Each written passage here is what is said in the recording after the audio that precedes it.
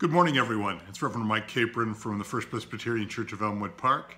Um, we're continuing our worship in this COVID-19 time by conference call, and I'm continuing to uh, give our Bible reading and sermon uh, on video for those who couldn't make it.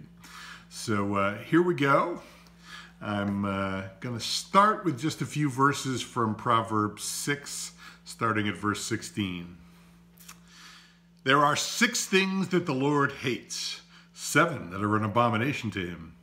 Haughty eyes, a lying tongue, and hands that shed innocent blood, a heart that devises wicked plans, feet that make haste to run to evil, a false witness who breathes out lies, and one who sows discord among brothers and sisters. You know, sometimes preachers plan a certain kind of sermon and then have to change in response to events in the news. And this is one of those weeks. So I'm pausing our series on Philippians so that I can address the death of George Floyd in Minneapolis and the protests and riots that have followed his death. And then I promise I'm going to connect that back up to the day of Pentecost in Acts chapter 2 before we're done. You know, I'm, I'm doing this because I know that we all care about our country. And I do it because a lot of what is going on has to do with our Christian faith and our Christian values.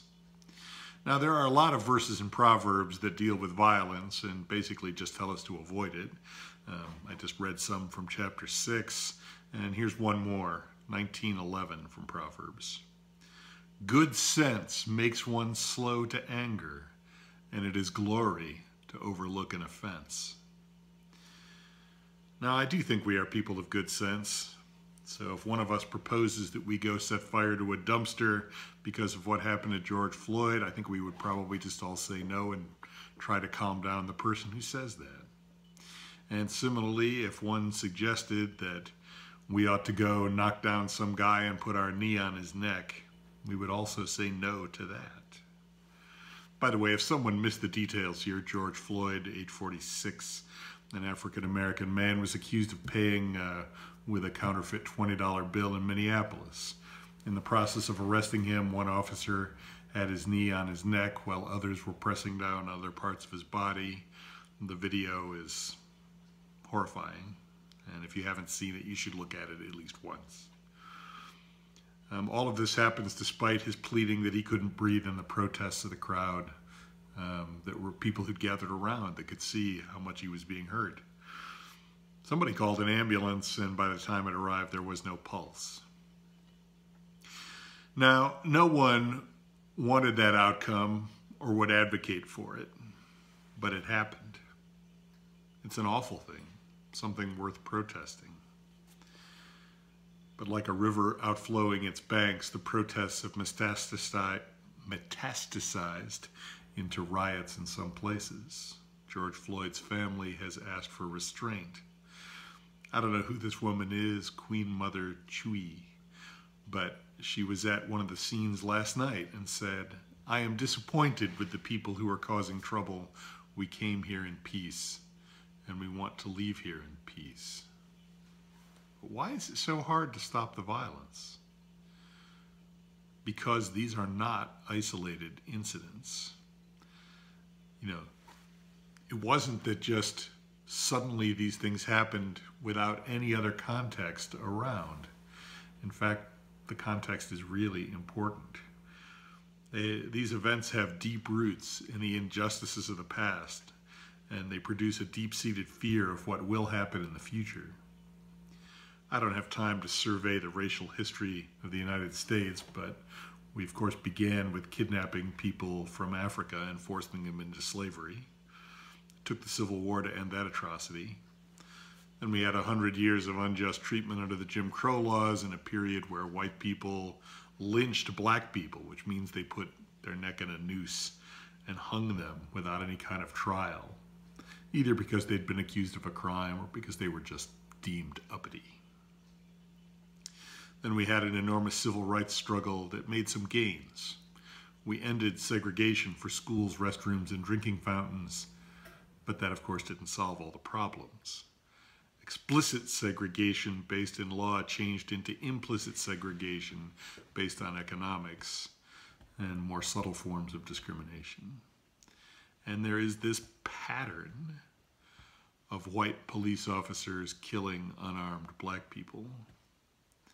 I could tick off a dozen cases that made the national news just off the top of my head, including some people who were fatally shot while at home. So you see, this isn't just about the past. I heard some moving discussions this week from black people who are afraid in the present that their brothers, sisters, aunts, uncles, and children will be killed just for being black. And it isn't an abstract worry, it's a visceral fear. And if something doesn't change, they fear that it will continue into the future. They are worried for their grandchildren and great grandchildren. And that is why there is a push for change now. And honestly, it is a legitimate question. Will you generate more change by staying home and writing letters or by going out and protesting and even rioting? I recently saw an old movie, Do the Right Thing. It could have been made today, but it's from 1989. It's a beautiful study of race relations in a Brooklyn neighborhood. Eventually, a fight breaks out between some black people and some white people. The police come, grab a black man, and choke him to death. Then the police leave. And a young black man throws a trash can through the window of a pizzeria, which leads to it being burned down.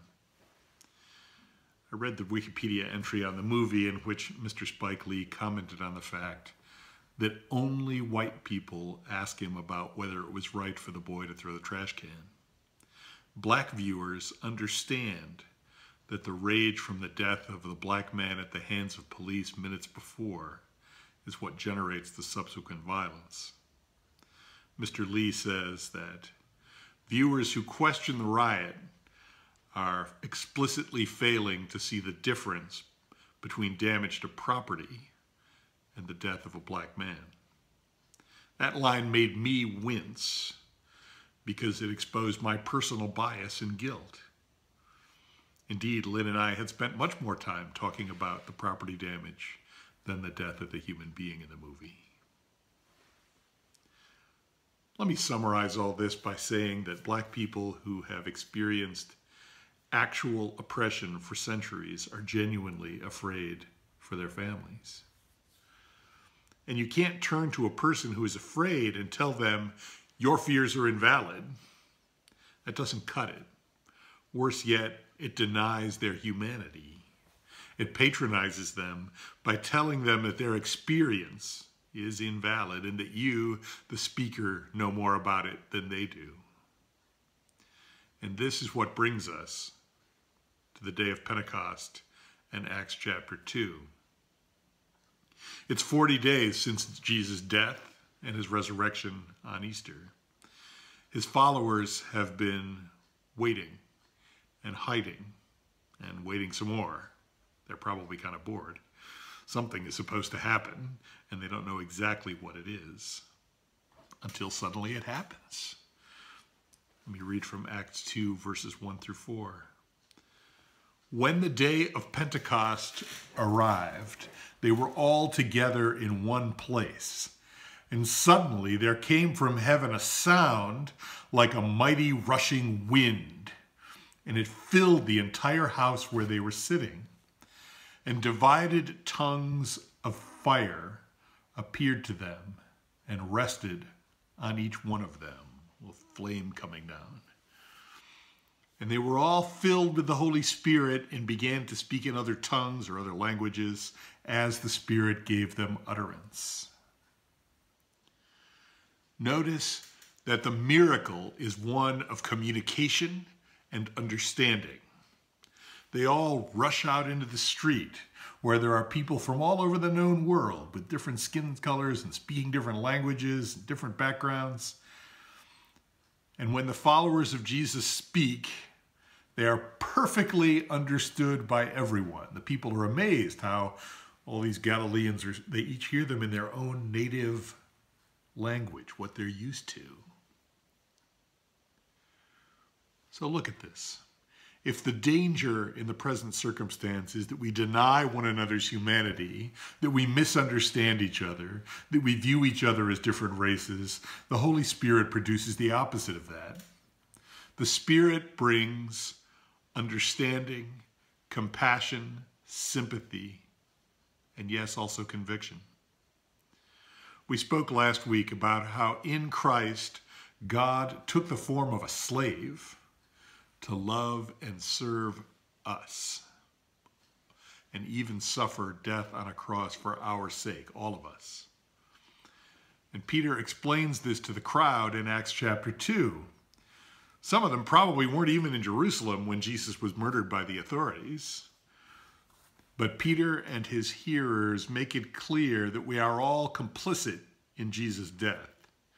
We all participate in what society and humanity does. Some of the blood is on our hands, even if indirectly. We all took a turn hammering the nails into Jesus' brown flesh. And with the Spirit, we are all brought together to move toward new life together. Which leads us to Acts 2, verses 37 to 39. When they heard this, they were cut to the heart and said to Peter and the other apostles, Brothers, what should we do? And Peter said to them, Repent, every one of you, in the name of Jesus Christ, so that your sins may be forgiven and you will receive the gift of the Holy Spirit. They all need to repent and be forgiven. So do we. We all need to die to the old life and the old ways so that we can be raised to a new, better life. A life of love, peace, grace, and hope. And this didn't just apply to the people who were there then. Verse 39 the promise is for you, for your children, and for all who are far away, everyone whom the Lord our God calls to him. Isn't that what we all want? For the promise to be for everyone, every race and clan, every group, all the people alive today, and all their children and grandchildren. As Christians, we, more than other people, should believe in the hope for a new and better life and a more just society. The world needs justice to have peace. And as Christians, we believe that God is healing this world and its hurts, that everything is being made new. And we, as followers of God, disciples of Christ, get to be a part of that process in whatever way we can, small or large. Empowered by the Holy Spirit, wrapped in God's love, let us be people of peace who work for change, change that comes through justice and justice that brings real peace. In the name of the Father, Son, and Holy Spirit, may it be so and may it be soon. Amen.